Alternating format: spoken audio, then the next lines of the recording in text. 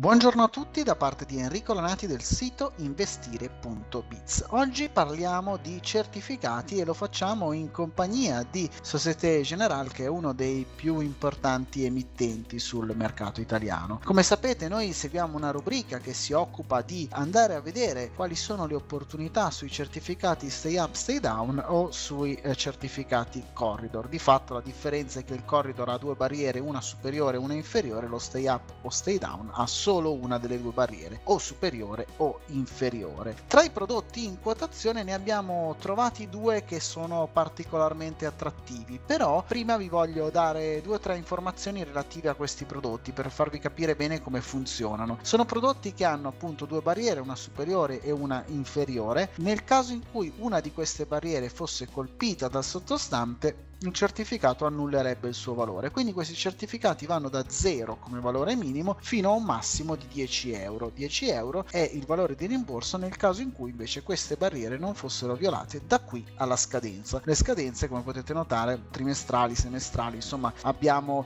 delle scadenze a settembre, abbiamo delle scadenze verso la fine di dicembre, come potete notare. Io ho indicato, ho eh, diciamo messo in ordine i certificati per il prezzo lettera in modo tale da poter individuare quelle che fossero delle occasioni, cioè sostanzialmente dei certificati vicini alla barriera che però avessero un prezzo molto basso. In questo caso riesco a ottenere dei rapporti rischio-rendimento favorevoli e così trovo delle migliori opportunità di trading. Il primo certificato che ho selezionato per voi è questo su FCA Fiat Chrysler. Mi piace molto in quanto, come potete notare, ha un rendimento potenziale abbastanza rilevante e ci troviamo in un'area molto molto interessante. Quindi, giusto per capire quello che è la struttura di questo certificato, vedete abbiamo una barriera superiore e una barriera inferiore. Il titolo Fiat, che è quello che vedete qui, ha avuto un movimento rialzista molto molto importante, tant'è vero che questo certificato in, questo, in questa situazione ha un prezzo abbastanza basso, eppure il mercato dell'auto in questo momento secondo me è uno dei settori che si trova in maggiore difficoltà. La barriera sappiamo che è circa il 10% dei prezzi attuali, io ritengo che sia difficile dopo che Fiat ha fatto una corsa dai 5,60 euro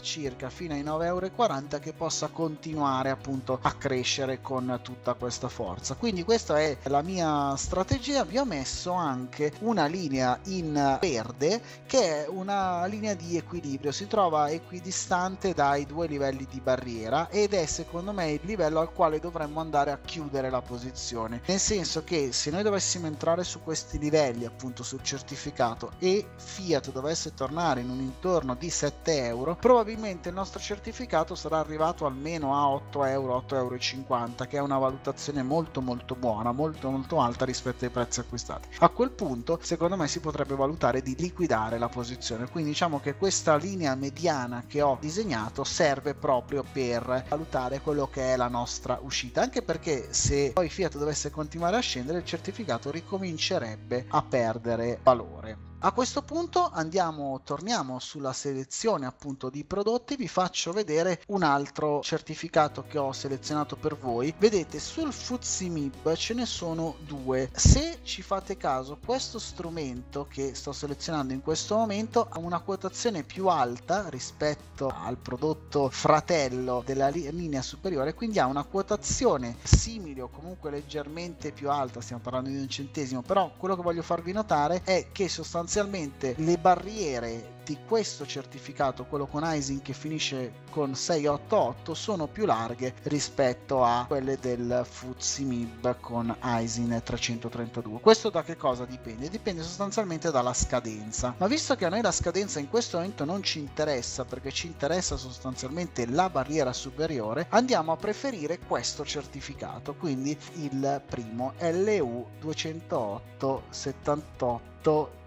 30 688 ovviamente trovate tutto all'interno della descrizione dell'articolo. Andando in, uh, sul grafico potete notare che anche in questo caso la barriera inferiore non ci interessa. Il discorso è analogo a quello che abbiamo visto precedentemente. Siamo convinti che ci possa essere uno storno dai livelli attuali appunto del Fuzimibo che comunque non possa raggiungere eh, nel brevissimo i 22.000 punti. Siamo a circa 1800 punti di distanza quindi circa un 10% anche in questo caso. Ecco, come detto nel certificato per il certificato precedente, anche qui la situazione è interessante perché andrei a liquidare la posizione qualora il mercato dovesse tornare in area 17.500 perché qui come potete vedere ci troviamo in equilibrio e probabilmente il certificato ha massimizzato quello che è il suo rendimento atteso. Se vogliamo andare a dare un'occhiata appunto a questo prodotto vediamo quelli che sono i dati fondamentali. Quello che vi esorto a vedere è che appunto c'è un rendimento a scadenza potenziale del 182% che non faremo tutto perché ovviamente probabilmente chiuderemo la posizione prima del della scadenza e una distanza appunto dai livelli superiori di appunto di circa il 10% diciamo prima in realtà è l'8,79 in questo momento. Si compra a 3,68 euro col passare del tempo. Se non fosse raggiunto appunto il livello di 22.000 punti questo certificato si apprezzerebbe fino ai 10 euro da parte di Enrico Lanati per oggi è tutto io spero di avervi dato quante più informazioni possibili su questi prodotti ovviamente andando nell'articolo dedicato troverete i codici ISIN e delle spiegazioni relative a queste operazioni.